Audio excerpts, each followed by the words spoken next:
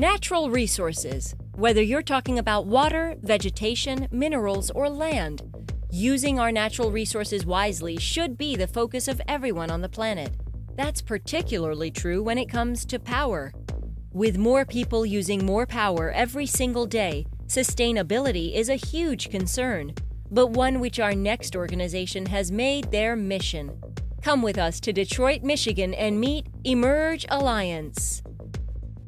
As a group of product manufacturers, universities, major corporations, and trade and government entities, Emerge Alliance wanted to create a better answer to collecting, storing, managing, and using power.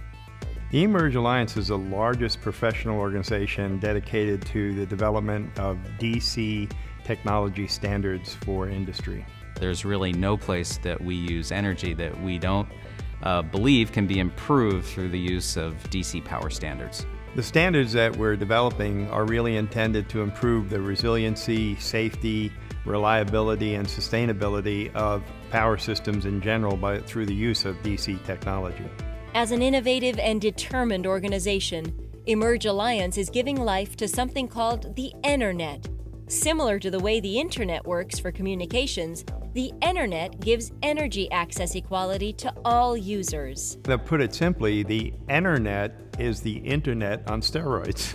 and that is to say, the way we move information around today, create it at any place in the network and use it any other place, aggregate it, disaggregate it, and so on. We want to be able to do that uh, with uh, energy and particularly electricity.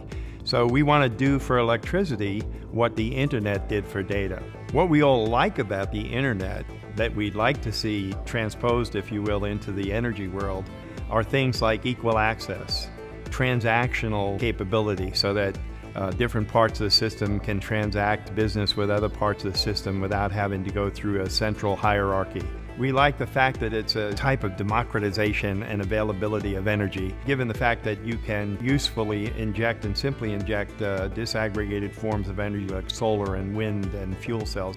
It gives people the opportunity, just like we have in data, to have your own personal power system. Today, billions of people lack access to the most basic energy services. 1.2 billion people are without access to electricity, and more than 2.7 billion people rely on burning biomass for cooking.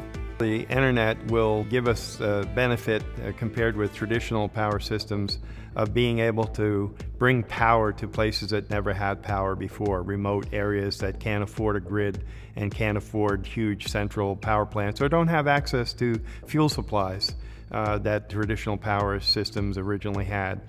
It'll also bring a different kind of power system that will be essentially massively distributed and disaggregated, which means it will be much more resilient uh, to both natural and man-made disasters. And third, it will bring a whole new approach to the use of electricity to make it a much more exciting, comfortable, and productive environment for us to live in.